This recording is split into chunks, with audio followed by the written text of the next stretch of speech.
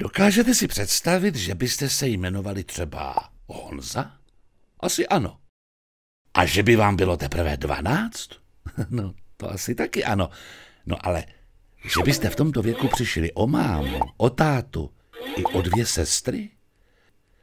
A každý den byste museli tvrdě pracovat někde ve mlejně? Už tušíte, o kom mluvím? Ještě ne? No tak dávejte pozor. O rok později, o pardon, píše se rok 1605. Aby bylo jasno, tak to na Moravu vtrhli povstalci, bočkajovci. No a jak se to tak občas ve válkách děje a bývá, vyplenili přitom ještě ke všemu rodinný dům v Uherském Brodě, po Honzíkových rodičích. Ach jo, chudák Honza. Alespoň, že může úspěšně studovat na gymnáziu, sice až v 16 letech, ale to víte, učenej z nebe nespad. I když u tohle Honzíka bych si nebyl tak jistý. Ano, mluvím o učiteli národů, Janu Ámosi Komenském. Ale začátky měl těžké. Ještě, že si nadaného Komenského všimnul šlechtic Karel starší ze Žerotína. Díky jeho štědrosti a taky své píly a zodpovědnosti se Honza mohl vydat do světa a pokračovat ve studiu na německém Herbornu a univerzitě v Heidelbergu. Po studiu nastupuje jako učitel na gymnáziu v Přerově. Ve Vizovicích, hm, tam se zamiluje až po uši. Magdaléno, Magdo, Magdičko, vezměte si mě za muže. Hm, tak jo. A stane se otcem. Ve Folneku pak káže. Všeliké kvaltování toliko pro hovado jest dobré. A stane se knězem jednoty bratrské. To bylo docela šťastné období, než přišla válka. A hnedle třicetiletá. Po prohrané bitvě českých stavů na Bílé hoře roku 1620 hrozí protestantům smrt. Chudák Komenský ač nerad musel sebrat svý saky paky a ukrýt se na panství Karla ze Žerotína v okolí Brandýse nad Orlicí. To bylo docela smutné období. Dopovažte, nejprve Komenského zasáhla zpráva o smrti manželky a jeho dvou dětí. Pak hned další obovka o spálení všech jeho knih na Půlneckém náměstí. Ve svém žalu a smutku však vytvořil jedno ze svých nejslavnějších děl – Labirint světa a ráj srdce. Později se Jan zamiluje a ožení po druhé. Musela to být taky láska jako trám. Se svou druhou ženou Dorotkou byl bohužel nucen opustit zemi a odejít do exilu. Byl totiž knězem jednoty bratrské a ta byla zakázána.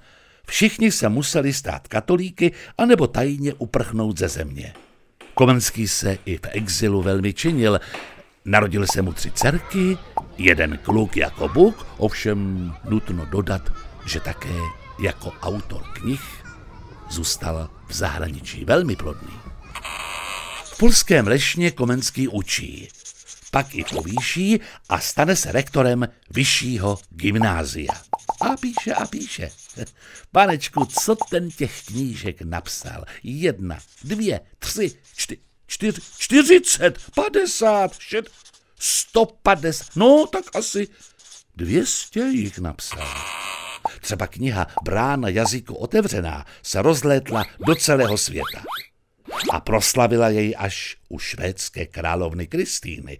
Ostatně díky tomu se s ní pak mohl také plně dorozumět. Latinsky.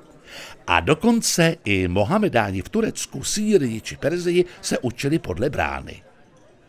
To jste možná ani nevěděli, že se jazykové učebnice dodnes píšou podle metod Komenského, co? Ale nemyslete si. Jan Amos Komenský nejenom, že kázal, vyučoval a psal, on se taky dokázal ujmout nemocných a umírajících. Třeba v Lešně. Tady o tom taky napsal kratičkou zprávu o morním nakažení. Čeští křesťané žijící v Polsku se nebáli smrti. Nebáli se toho, že se od nemocných mohou nakazit. Prokázat milosedenství a pomoc trpícím bylo pro ně přednější než jejich vlastní život. pak mu umírá jeho žena Dorotka a Komenský se žení po třetí a se svou ženou žili až do smrti. A také každá válka jednou skončí. Ta třicetiletá skončila podepsáním Westfálského míru. S ním skončila také naděje na návrat do vlasti. Ale co, tak aspoň Komenský mohl procestovat kus světa. Podíval se třeba do Anglie, Skandinávie nebo Uher, kde přišel na to, že názornost je pro výuku velmi užitečná. Tam také vymyslel a nakreslil první obrázkovou učebnici Svět v obrazech, Orbis Pictus. A dokonce vynalezl zážitkovou metodu výuky nazvanou škola hrou, takže se lidé mohli učit třeba hraním divadla. A to se všem náramně líbilo. Jana Amose Komenského už tenkrát znali děti i dospělí po celé Evropě. A kdyby se tehdy do sebe nepustili Švédové z Poláky a nevyhořelo přitom lešno, mohl být Komenského odkaz ještě věhlasnější. Schořela tam hromada knížek, ale nejvíce Komenského mrzel ten česko-latinský slovník. Poklad jazyka českého. Teď na něm dělal celých 40 let. Zdrcen se uchýlil do Amsterdamu, ale celé dílo se mu již obnovit nepodařilo. Až do posledního dne svého života pracoval na svém největším pansovickém díle Obecná porada o nápravě věcí lidských. On ten Komenský byl přes všechny ty životní pohromy ohromný optimista a hluboce věřící člověk. Byl to jeho vztah k Bohu, který mu dával touhu po něčem lepším, po dokonalém dobru, po věčné blaženosti a lidském štěstí. Byl přesvědčen, že toto dokonalé štěstí nalezne člověk jedině ve vztahu s Bohem.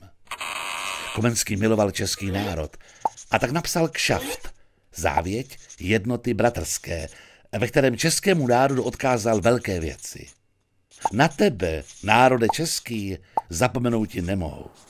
Věřím Bohu, že po přejítí vychřic hněvu vláda věcí tvých se opět k tobě navrátí, říká Komenský. No tak to bychom měli. Už sto let. A víte, co nám Komenský předal? Protože mám tuto naději, odevzdávám ti své dědictví. Prosím, ujmi se ho jako svého. Tobě to patří. Především lásku k pravdě, kterou ti ukazoval mistr Janus. Pak ti odevzdávám Bibli kralickou, přijmi jako vzácný klenot, milá. A zůstávejte jednotní, obraťte se ke Kristu, milujte se navzájem a pečujte o mladou generaci. Živ buď národe, zasvěcený Bohu a neumírej.